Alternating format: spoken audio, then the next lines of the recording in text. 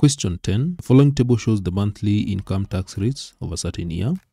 Monthly income in Kenya shillings, uh, then the tax rate percentages in each shilling is given there. That year, a monthly relief of 2,400 was allowed. The net tax on Lesiento's monthly income was 1,500 shillings. Calculate Lesiento's monthly income. So this is a backward taxation where you're given the the net tax and the relief.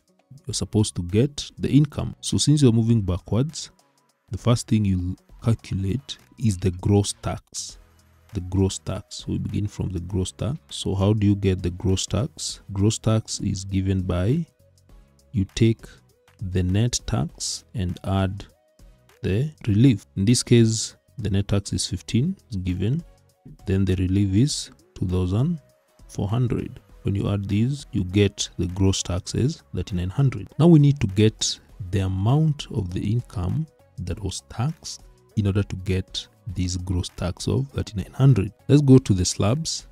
So the first slab so the first slab what is the income in the first slab? It is uh, 24000 from 0 to 24000 so that the size of that slab is 24000 times uh, we multiply the rate in that slab is 10 percent 10 percent and it's good to note whatever you're going to get here is the tax in Kenyan shilling. So you get a tax of 2400. So here you'll get the tax and then this is the income. Whatever you are taxing is the income. 24,000 is the income. Then after you tax, you get 2,400. So what we need to get is in the first slab, we've obtained a tax of 2,400, but we have a tax of 3,900. So let's go to the second slab.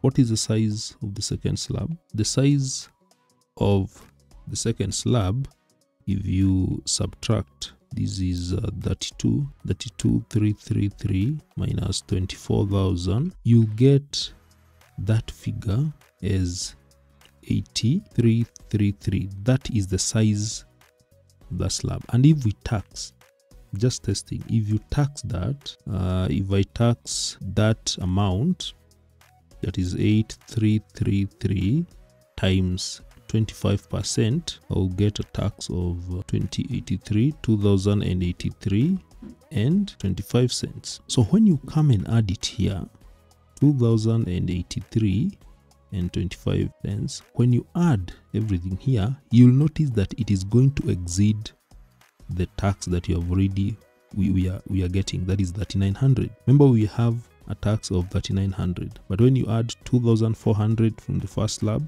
and add uh, 2083.25 having taken the whole size of that the whole amount in that slab second slab you will find 4000 above 4000 so that will be more. Therefore we need to know the exact amount. We don't know that amount that is there in the second slab it is not the whole amount that is going to be taxed. So since we don't know that amount we can let that amount in the second slab to be represented by y because it is not the whole amount 8333 then the rate is 25% and that one should give us 1500 should give us 1500 why 1500 because we are taxing 39 we, are, we want to get a tax of 3900 in the first slab we already have 2400 the total tax that you are targeting to get is 3900 so what is remaining in the second slab?